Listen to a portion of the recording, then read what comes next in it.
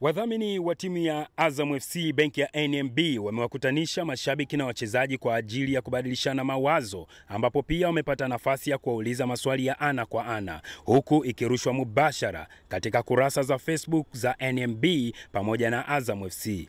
Akielezea lengo la tukio hilo, meneja uhusiano wa benki ya NMB amesema wameamua kufanya hayo kwa lengo la kuwapa fursa mashabiki ya kukutana na wachezaji wao.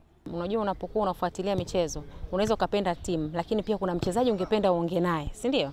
Lakini sasa kuongea naye pia kuna namna mbili, unaweza kukutana naye uwanjani, ambao sio nafasi watu wengi wanaipata. Kwa hiyo tukaona sisi kama NMB tukifanya na Azam kwa kushirikiana, tunaweza tukawafanya wachezaji wakaweza kuongea na wale mashabiki zao. Kwa hiyo hii tumefanya kwa mara ya kwanza, nadhani tumepata pia uh, feedback kutoka kwa wanaotufuatilia vizuri, lakini pia tutaendelea kufanya hivyo. Kwa ningewaomba washabiki waendelee kutufuata sisi kwenye page zetu za Facebook NMB Tanzania, lakini pia kufuatilia page za Azam kuweza kujua ni lini tena tuta, tutafanya kitu kama hiki. Kwa upande wa mashabiki na wachezaji, wamefurahia zoezi hilo ambalo limeonekana kuwaleta karibu zaidi.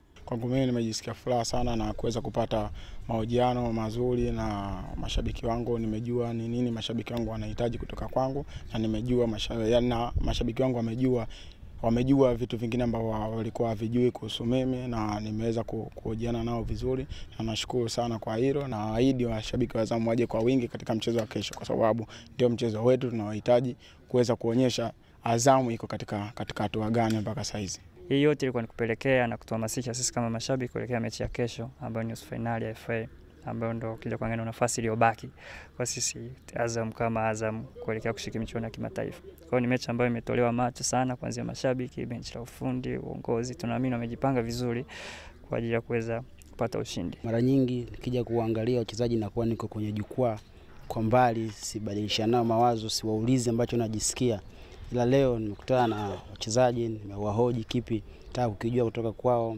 malengo yao, ukijua tena kesho tuna mechi kubwa, wanatuambiaje. Nimejisikia furaha sana. Mbali na tukio hilo ambalo ni la kwanza kufanyika kwa upande wa vilabu, pia kumechezwa mechi kali kati ya timu ya wafanyakazi wa NMB pamoja na timu ya vijana wa Azam FC, mchezo ambao ulimalizika kwa Azam FC kuibuka na ushindi. Baraka Musa, Azam Sports. Thank you.